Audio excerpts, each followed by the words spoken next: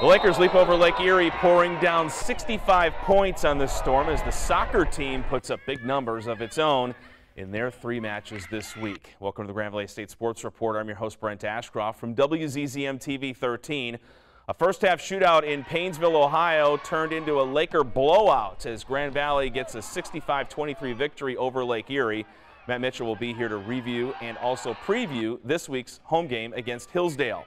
The soccer team scores 20 goals in three games. Head coach Jeff Hosler will review his team's three victories, and we will feature two sport athletes, Jamie Potts and Matt Williams. All this and more on the Grand Valley State Sports Report, which starts right now.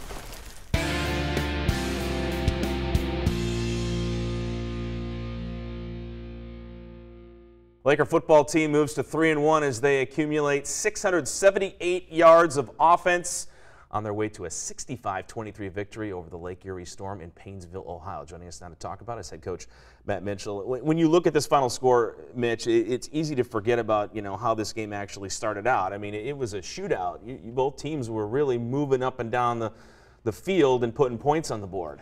Yeah, I think our defense had a little bit of a, you know, kind of a hangover effect based on the previous couple games. We played a lot of snaps of defense, and we came out. We were a little bit sluggish defensively. We got up 14 nothing, looked like we were going to roll. Uh, we gave up some explosive plays, way too many explosive plays in the first half. But we made some adjustments at halftime. We got things settled down. Our kids got, got going a little bit on the defensive side of the ball, and we kind of ran away with it 31 nothing in the second half. So maybe not the complete ball game out of the defense that you know we were expecting, but we did settle in and play a lot better in the second half and kind of ran away with it. And obviously our offense was productive the whole uh, you know afternoon, and you would think heading into it, we should have been. You know, Lake Erie's defense on paper not been good, but I will give our kids credit. Just because you're supposed to do it doesn't mean it's going to happen. Our offense really stepped up, and I, we talked about this a lot. We got to protect Bart Williams, and one of the ways you protect Bart Williams, you got to run the ball. And uh, we were much more effective running the football. Yeah, you certainly were more effective running the football. Uh, Kirk Spencer had himself a, a, big day for you. In fact, overall, 387 total yards on the ground and 44 carries combined for your ball club going into this game. You'd only averaged, you know, 88 yards a game going in, and you just exploded on the ground this one. Yeah, certainly. You know, their their defense wasn't quite as good as some of the other defenses we, we faced, but we did get more physical up front. You know, I think uh, Kirk had a big day. It also helped us a little bit too. We could spell in with the Martavius Carter. You know, Martavius Carter came in and played well. We had one drive where they uh, pinned us deep, and uh, we went 99 yards running the ball the entire way. Kirk had 54 of them, and Marty had 45 of them. So we had our kind of our two-headed running back uh, attack back, and that was critical uh, for us to be able to get that going. I think that you know Bart didn't turn the ball over. That's another thing to look at you know, first half defensively, we didn't get any turnovers, but in the second half, we were plus three. We forced three turnovers, including a pick six. But I think the biggest thing, this is now, you know, the first game really of Bart's career, he didn't throw a pick. And part of the reason to throw a pick is because we were running the ball effectively and there wasn't as much pressure because of what was happening. Lakers grabbed a, a 20 to 6 lead, looked comfy, but uh, this is where your defense bent a little bit, uh, allowing the 57 yard touchdown uh, uh play. Uh, they got to within four little cause for concern there, a little frustration? Yeah, I mean, just too many big plays, and I think a large part of it had to do with a couple things. Um, you know, our, our, our, secondary didn't do a great job of man coverage with our eye control in the first half. We let a couple double moves get behind us. I was also disappointed that we didn't get a little bit more pressure on our defensive line. I think, you know, Matt Judon didn't play. He played a few snaps. He was banged up from the first game, and he just couldn't go. So when you have your guy that was – you know, leading the nation in sacks at one point, not playing, you're not going to, you know, that hurt us a little bit not getting some of that pressure that we had. So, you know, I, I think though, you know, like I said, everything that we mistakes we made are pretty correctable. We got on the guys pretty hard at halftime and uh, got it going. I was glad to see that while we were struggling on defense, our offense was able to pick us up. And there was a, a series there at the end of the first half uh, that was really, really critical to us. You know, we scored uh, to go up 11 points. They got the ball back and drove down. We blocked a field goal attempt. So to have that two-score lead heading into the halftime was really big. And then, you know, we've talked about how we've been really poor in third quarters here at Grand Valley the first three games. Uh, we came out Brent. We played well in the third quarter. We went right down the field and scored, got a bunch of stops, kept scoring, and so it was good to see our, our ball team kind of react to some some better third quarter performance because we haven't been real good in the first three games in the third quarter. Your overall assessment of Bart Williams' day in this game? He kept drives alive. He had some engineered some big plays. Uh, good confidence booster for him uh, after the disappointment against Ferris. Yeah, no doubt. Uh, you know, I thought, you know, I said you look at his stats. I think he, uh, you know, controlled things well. He didn't put the ball in harm's way whatsoever. He got us in some good plays. I think he managed the line of scrimmage based on what they're doing great. And I, I think the other thing, uh, you know, was that, like I said, we were, got uh, the ball out of his hands a lot quicker. We ran some screens. You know, we ran a screen right here's one to Jamie Potts. We got a lot quicker throws schematically. We didn't have as many of those uh, in the previous game plan, so I think our coaching staff did a little bit more to help him out by getting the ball out of his hands a lot quicker and not having to hold the football. So combination of not a great defense, maybe a little bit of plan. You're seeing a more experienced player. You know, you just you're going to continue to grow when you're dealing with a sophomore quarterback, and he did that throughout the course of the game. What did you do at halftime to tighten things up defensively? Because this team found a way to put 23 on you uh, by halftime. In the second half, they couldn't sniff it. Yeah, well, I think uh, the, the big difference was we knew heading in they weren't going to be great in the red zone because the, the, the space shrunk. they weren't a good red zone team. We never got them to the red zone in the first half because we're giving up way too many big plays for touchdowns we were keeping the ball in front of us better, and uh, we were great in the red zone. We had two fourth down stops. You know, we, we stopped him uh, on several occasions down there when we needed to stop him, and then obviously we get a pick six in the in the second half there, uh, which was key. So I think it was all about red zone defense. We didn't have a chance to play red zone defense in the first half. We did in the second half. We played great red zone defense. Good to see uh, Spencer have himself a day. Uh, 164, 19 carries, four touchdowns. Yeah, and uh, we got him involved in a trick play with Jamie Potts. He had a you know touchdown pass, which was really you know good for him to be able to do that. So he's our best player on offense right now. You know, our most consistent player on offense, and he's been leading the way. So he's a guy that uh, you know we're going to keep pressing here as we move forward. But again, to have some pressure taken off from some of those other backs was good too. All right, we'll be back to preview the home game against Hillsdale right after this.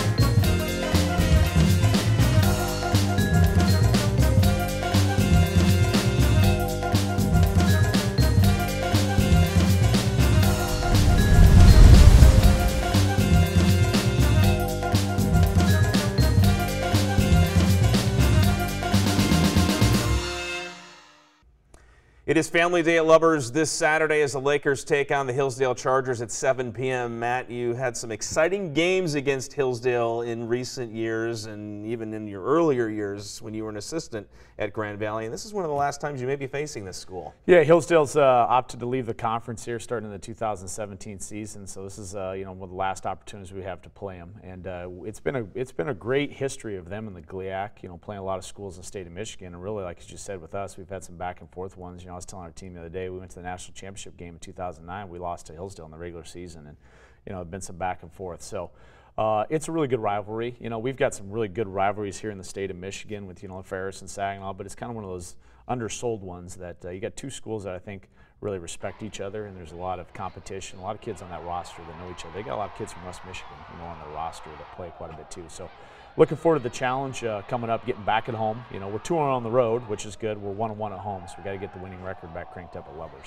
Yeah, you uh, look at the on paper at, at, Hillsdale, they're 1 and 3 coming in, and uh, not a lot of eye popping numbers on the page, but anything can happen on any given Saturday if you're not prepared. Yeah, and I think the way that Hillsdale is what they're trying to do right now is uh, offensively, they're using a lot of different formations, motions, shift. It's going to put pressure on our, our defensive kids, not from maybe a playmaker uh, standpoint like we've had with Vanderlaan and Bilal, Hill guys puts more pressure on you from getting lined up, discipline, eye control. They're going to try to formation you, motion you, and get you confused.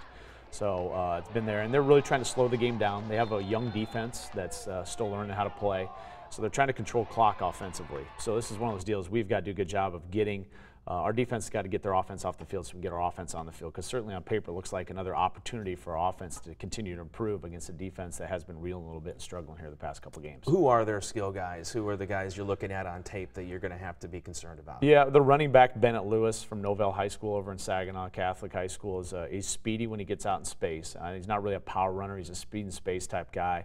He's definitely uh, the, probably the premier skill guy that they have. And then uh, CJ Misfit, their quarterback, has been in their system. He's a senior, you know, and so I think he's most effective when he's moving, you know, bootlegs, doing some different things, and he's an adequate runner.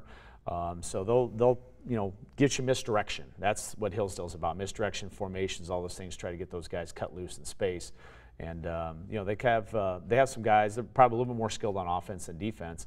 We got to make sure our defense steps up and have plays a better first half than we did last week. Were your guys a little different last week in preparing uh, for the Lake Erie game, given the the, the bad loss to Ferris? Do you feel like that they know that there's no room for error anymore for the rest of the year. If you guys want to make the postseason, you yeah. can't can't look past the Hillsdales in any of these schools the rest of the way. No, not at all. And I think the thing that we've got working to our advantage, our strength of schedule is going to be extremely high.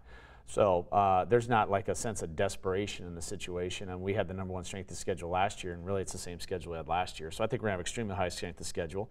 And uh, there's a lot of football left to be played in the league. So I, we haven't stood up there and said, hey, you have to go 10 and 1 or anything like that. Uh, we're just about getting better every week and approaching each way. And like we're right now, we're 3 and 1. We got to find a way Saturday to get 4 and 1 and keep taking it as they come. So I don't know that our kids approach like we have to win out or anything like that. It's just um, we have to be Hillsdale, and then we'll take the rest of them as they come. All right. Good luck against Hillsdale. Thank you. You bet. We'll be back to look at the week in soccer right after this.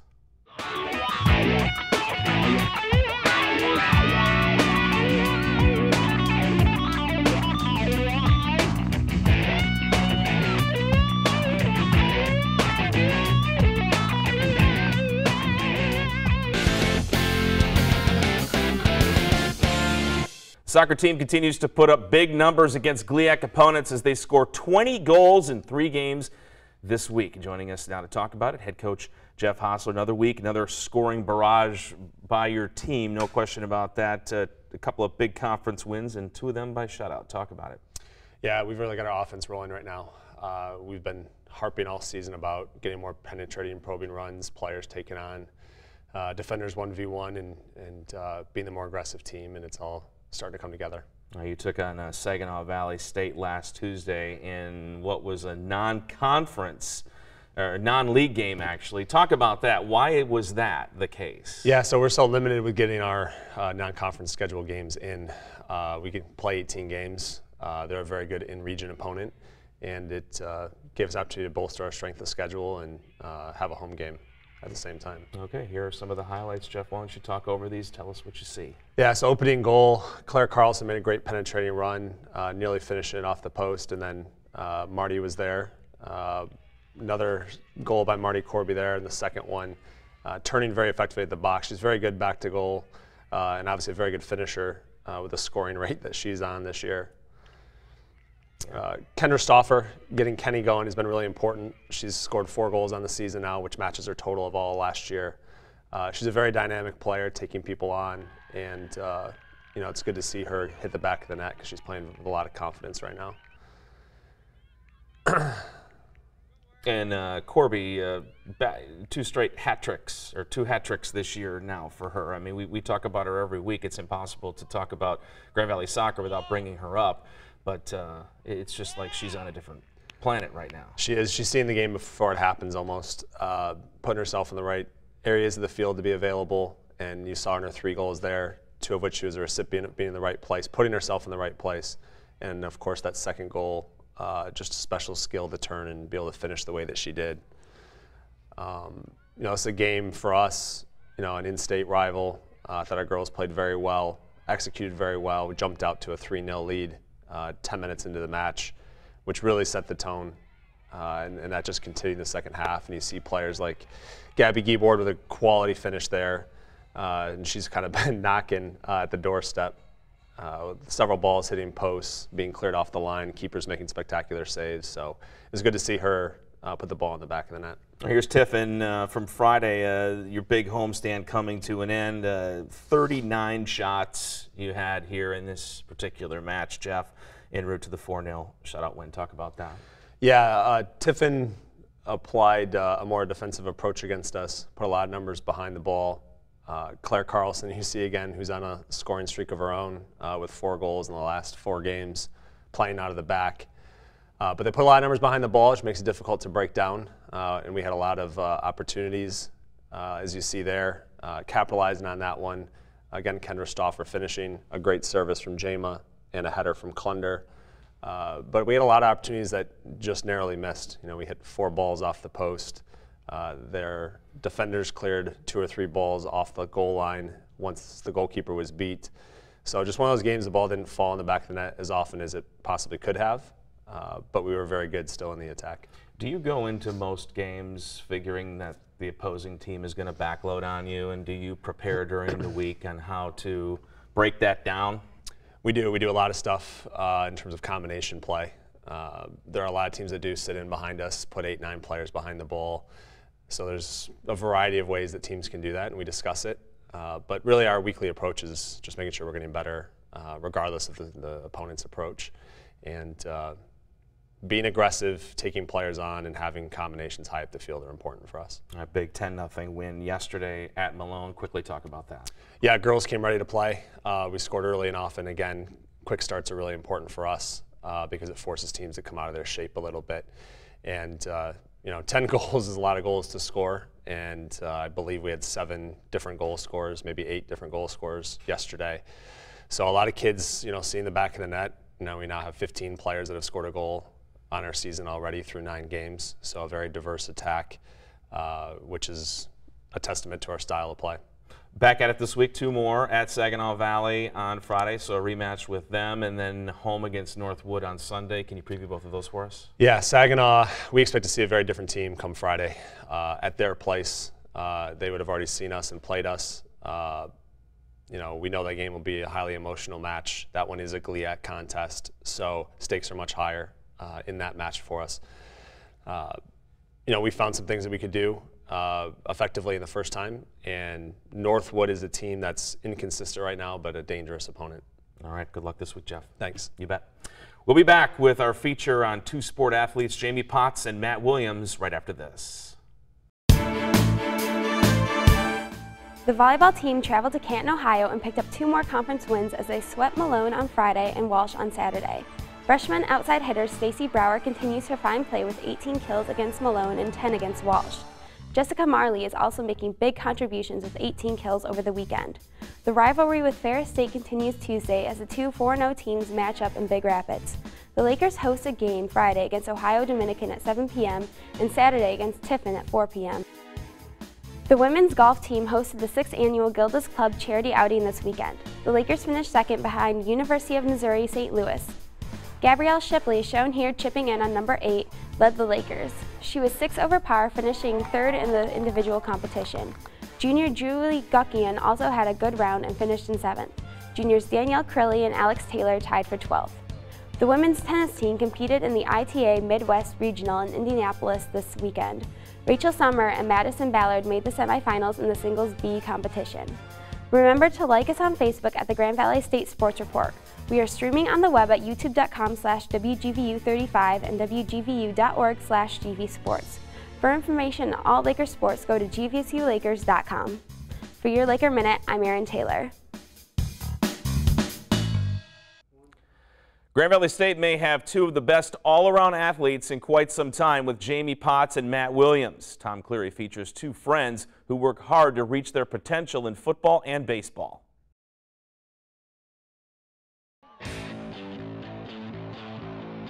This fall, Laker fans are watching closely as Jamie Potts writes the final chapter in his remarkable two sports career. A first team baseball and football All America selection during his Allendale days, Potts surprised people, and maybe even himself, by getting permission to race back home from his minor league baseball team a few weeks ago for his last semester in the classroom and a chance to play two more months of college football. Um, you know, I really didn't know until about two weeks before the football season actually started that I was going to be able to come back and play. Uh, that's when I talked to the minor league director of player development and uh, kind of ran the idea by him. Um, you know, hearing from other guys in the organization, they didn't sound like that was going to be a possibility. I talked to him, and uh, you know, he was actually really supportive of it, and he understood uh, my my willingness to come back and get a degree and and uh, play my final year of football. So, you know, I'm happy it worked out.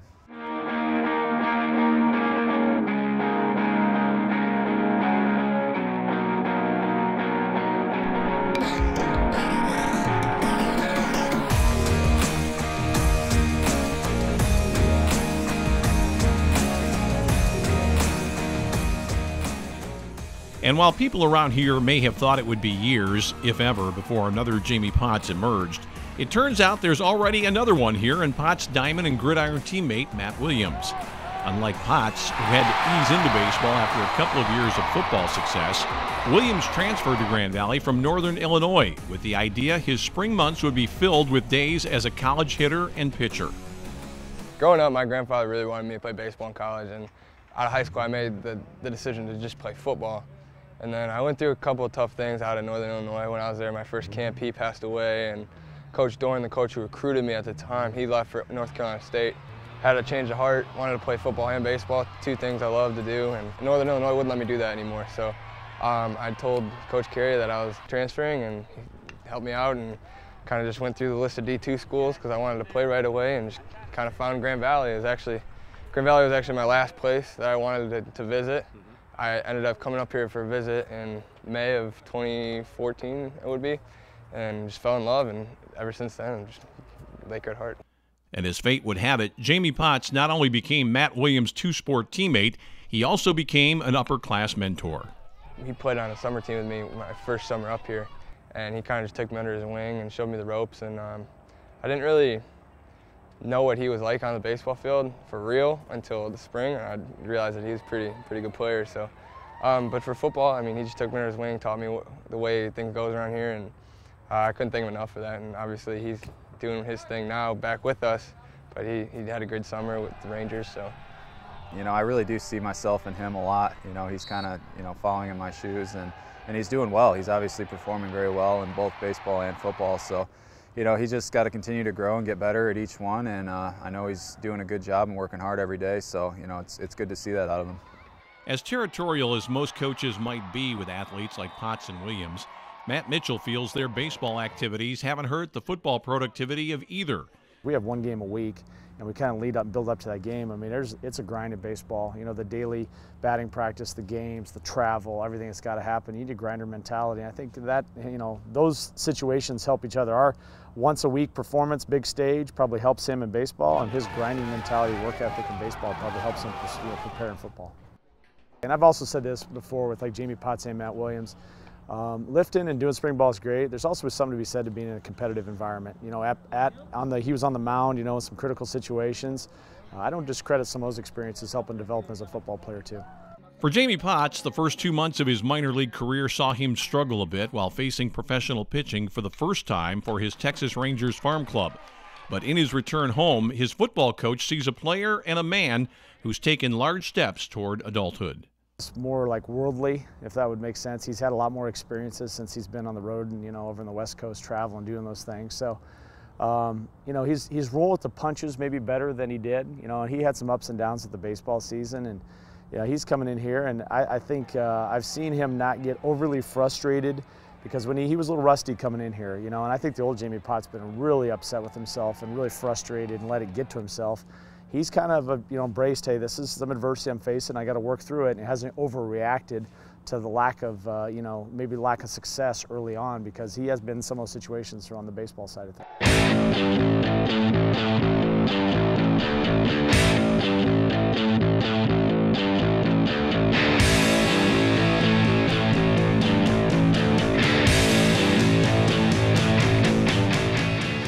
In 2014, Potts and Williams combined for 65 football receptions and almost 1,100 receiving yards.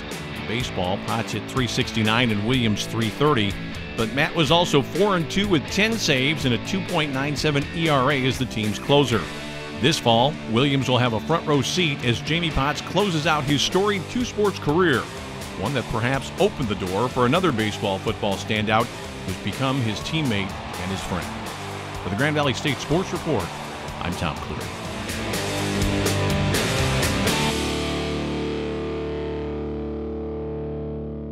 It's family day this Saturday as the Lakers take on the Hillsdale Chargers at 7 p.m. The volleyball team will host a 7 p.m. game against Ohio Dominican on Friday and a 4 p.m. game on Saturday against Tiffin. Remember to like us on Facebook at the Grand Valley State Sports Report. We are streaming on the web at youtube.com slash WGVU35 and wgvu.org slash gvsports. For information on all Laker sports, go to gvsulakers.com. For the crew, I'm Brent Ashcroft. Have a great week, everyone.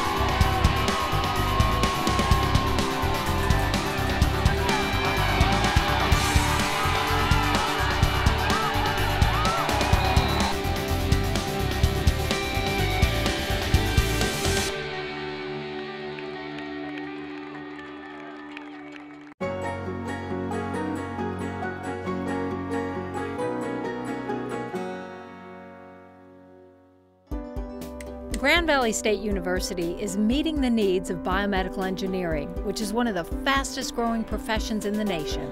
A biomedical engineer uses the design and problem solving skills acquired in engineering to improve people's health and quality of life. They will be directly involved in projects that affect patients' lives. Grand Valley Biomedical Engineering students have been working with Lincoln Developmental Center in Grand Rapids to help students who need wheelchairs and help to operate them. Having a device that converts their own custom seating manual wheelchair into a power wheelchair, they're able to have more success. Hey there, students in the biomedical program at Grand Valley are learning that success in the classroom can translate into unbelievable success in someone else's world. For Around Grand Valley, I'm Mary Eileen Lyon.